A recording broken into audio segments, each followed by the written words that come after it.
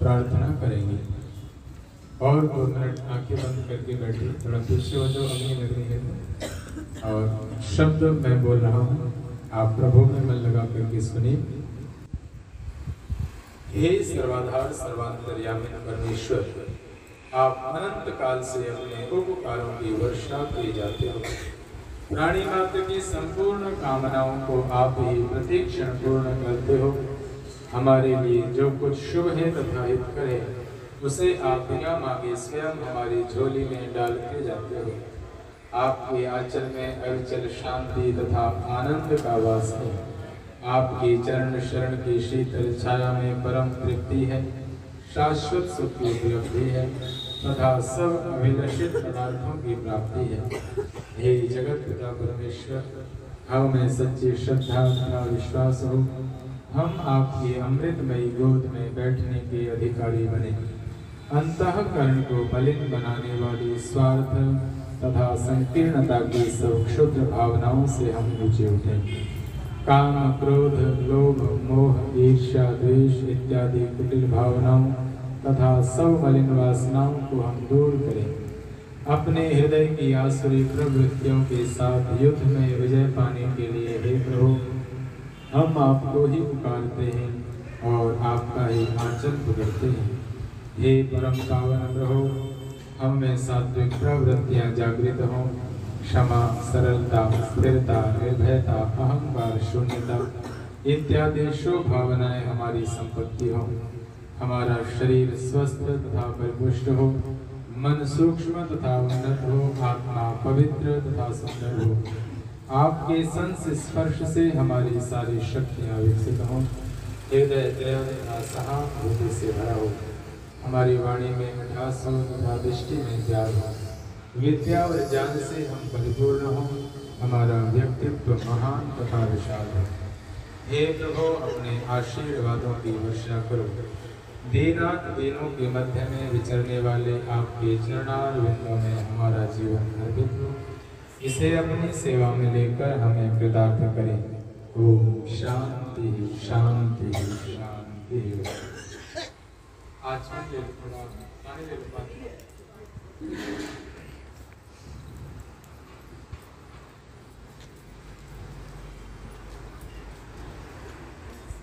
आइए, एक बहुत सुंदर एक भजन, प्रभु भक्ति। जिसमें ईश्वर के गुणों का गुणगान किया है और धुन आप सबके परिचित है। आप उस धुन में गुनगुनाते रहते हैं। पहले कई बार आपने सुनी है ये उस धुन को लेकर के आप इन शब्दों के साथ हमारे साथ मिलके गुनगुनाइए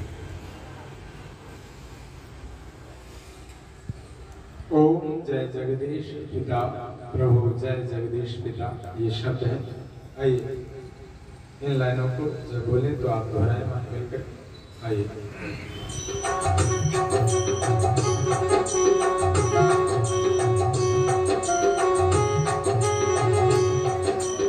जय जगदीश पिता प्रभु।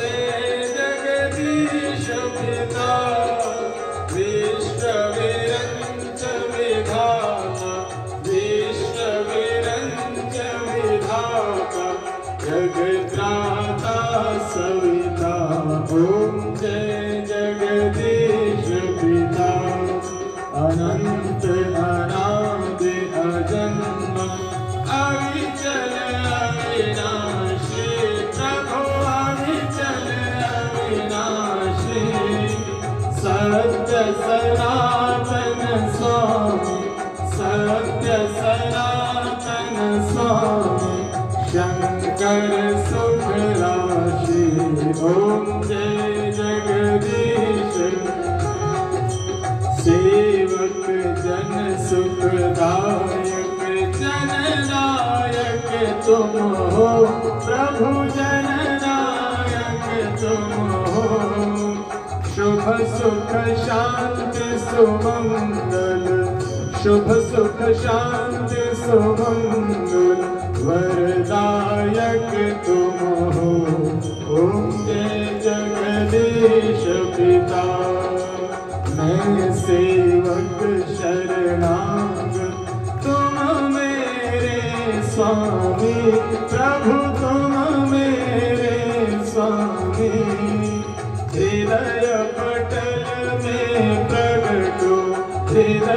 पटल में प्रगटो प्रभु अंतर्यामी ओम जय जगदीश पिता काम क्रोध मद मोह कपट छल व्यापे नहीं मन में प्रभु व्यापे नहीं मन में लगन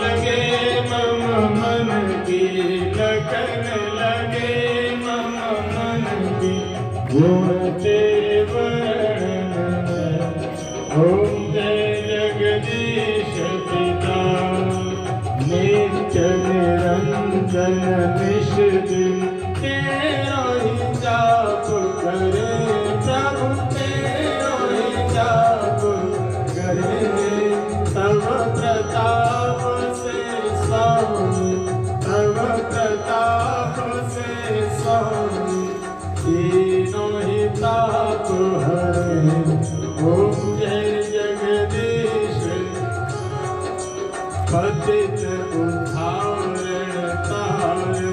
शरणागत तेरे प्रभु शरणागत तेरे भोले न भटके भ्रम भटके भ्रम निर्मल मति मेरी ओम जय जगदीश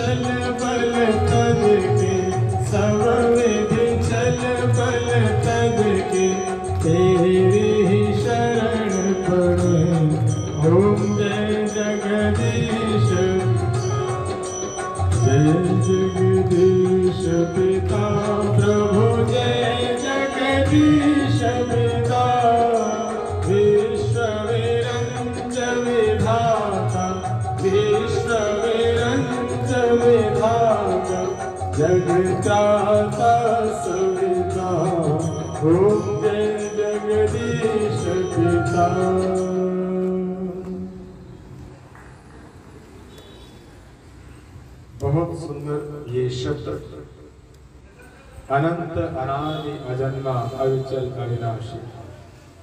सत्य सनातन स्वामी शंकर सुखराशि।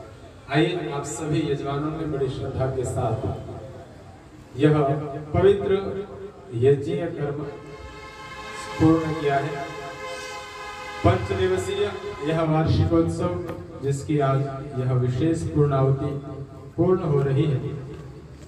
आप सभी यजमानों को शुभकामनाओं के साथ आशीर्वाद है। भाई श्रद्धे श्रीमान राकेश लामा और उनकी श्रीमती जी, श्रद्धे श्री मदन वासुदेवा जी और उनकी श्रीमती जी, श्रद्धे श्री मोहित हंस जी और उनकी श्रीमती जी, भाई ध्रुव और उनकी श्रीमती आप सभी को बहुत अनंत शुभकामनाएँ आशीर्वाद आशीर्वाद है। आपके जीवन में सुख समृद्धि, धन ऐश्वर्य और भाई ध्रुव के पिताजी अस्वस्थ हैं तो हमारी प्रार्थना, मेरी मन में प्रार्थना चल ही रही थी क्योंकि मुझे पता है। आपको ही पता होगा तो आपके मन में भी प्रार्थना चल रही होगी कि पिताजी स्वस्थ हों। यह कामना पूर्ण हो हमारी, पिताजी जल्दी से स्वस्थ हों और आपके साथ सही से जीवन जिए। आइए। सभी यजमानों को आशीर्वाद है और साथ में ही ये पुस्तक है अपने योगेश्वर कृष्ण। बहुत सुंदर पुस्तक है। पंडित श्री चमुपति जी नमे। उनके द्वारा लिखी गई। बहुत मूर्धन्य विद्वान थे इस पुस्तक में योगेश्वर कृष्ण का चरित्र जो आज हिंदू समाज में लोगों ने दूषित किया हुआ बहुत सारे ऐसे आरोप जिन आरोपों को आज का पढ़ा लिखा समाज स्वीकार नहीं कर रहा है। युवा पीढ़ी अपने महापुरुष के ऊपर ऐसे बातें जो कही जा रही है, वो स्वीकार नहीं कर रही, इसलिए या तो वो उनको मान ही नहीं रही ये हमारे महापुरुष नहीं है, या फिर विधर्मियों के महापुरुषों को मान रहे हैं, अपनों को छोड़ रहे क्योंकि ये सही दर्शन नहीं है। हमारे महापुरुषों ने, भगवान कृष्ण, भगवान राम, ये शब्द भी उनके आगे जब भगवान शब्द लग रहे हैं तो भगवान शब्द ऐश्वर्य भग ऐश्वर्य धातु संस्कृत व्याकरण में उसके आधार पर सिद्ध होता है। जो ऐश्वर्य शादी है, उसको भगवान शब्द से संबोधित कर सकते हैं। अब दो शब्द हो गए, या दो सत्ताओं के लिए भगवान शब्द का प्रयोग है। एक आत्मा, एक जीव के लिए, और दूसरा परमात्मा के लिए जहाँ पर एक देशी, जहाँ पर अल्पज्यता, जहाँ पर सीमित साधनों की व्यवस्था का वर्णन या विशेषण लगे साथ में तो समझना चाहिए कि जीव का वर्णन है। और जहाँ पर सर्वदेशी, अंतर्यामी, सर्वव्यापक, सर्वशक्तिमान, ये भगवान शब्द के साथ में विशेषण लगे हो तो वहाँ पर क्या समझना है? ईश्वर के बारे में बात हो रही है। भगवान राम, भगवान कृष्ण, ये शब्द उनको जब एक देशी प्रयुक्त है, एक महापुरुष के रूप में हम उनको जाने तो महापुरुष ने जनों के जीवन में अद्भुत कार्यशैली, वचनों की व्यवस्था में जीवन को जिया, एक बार जो वचन कह दिया उसको निभाने में जीवन भर अपने आप को लगाया करते थे तब बने हैं श्री राम, जो मर्यादाओं में बंद करके मर्यादा पुरुषोत्तम श्री राम। तब बने हैं योगी राज कृष्ण। ऐसे नहीं आइए उत्तम पुरुषार्थों से, प्रयत्नों से, सत आचरणों से, यज्ञ व्यवस्था को जीवन में धारण करने से हम भी पुरुष से पुरुषोत्तम की तरफ़ आगे बढ़े। जीवन में श्रेष्ठतम शिखर पर आगे बढ़ते हुए धर्म, अर्थ, काम और मोक्ष, पुरुषार्थ, चतुष्टय की चार सीढ़ियाँ, जिन सीढ़ियों पर मनुष्य को चलना चाहिए, उसकी तरफ़ अग्रसर हूँ। प्रभु, इसके लिए हमें शक्ति सामर्थ्य और आज जो हमने यज्ञोपवीत पहनाया है, आपने पहना है, इस यज्ञोपवीत को आप धारण किए रहे और तब तक जब तक संन्यास धारण जिसका मतलब तो संन्यास भी धारण करना चाहिए। चलिए, नहीं कर सकते तो समाज की व्यवस्थाओं में वृत्तियों को ज़रूर हम अपनी ऐसी वैरागी वृत्तियाँ बनाए, जब हमारी अवस्था हो। पचहत्तर, अस्सी के आसपास, तब वृत्तियाँ बननी चाहिए, वैराग वाली यानी मैं और मेरा प्रभु बस वही होना चाहिए।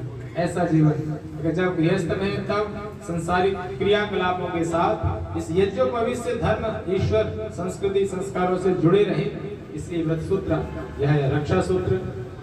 यदि आप ये पहने तो काले पीले, लाल धागे बांधने की पहनने की ज़रूरत नहीं तो बच्चों को ही पहनेंगे पैर में काला धागा बांधेंगे, कभी गर्दन में बांधेंगे। कभी हाथ में बांधेंगे क्यों? क्योंकि इस यज्ञोपवीत के सिद्धांत को नहीं समझा। आवश्यकता नहीं पड़ेगी किसी अन्य सूत्र की, किसी अन्य ताबीज की, जो गले में बांधते हैं और पहनते हैं। ज़रूरत नहीं पड़ेगी यदि हमने इस यज्ञोपवीत के पहन करके इसके सिद्धांत को समझा हुआ है। मैं प्रार्थना करूँगा सभी हमारे समाज के पदाधिकारीगण विद्वत जन जो भी आयु वृद्ध नीचे बैठे हुए सबसे प्रार्थना है। वानप्रस्थी, सन्यासी, आचार्यगण, जो नीचे बैठे हैं, हमारे आर्य समाज के समस्त पदाधिकारीगण, श्रद्धेय प्रधान जी, मंत्री जी, कोषाध्यक्ष जी, जो भी हैं, सबसे प्रार्थना है कि वो यज्ञ वेदी के ऊपर यश तारा पर आ जाए।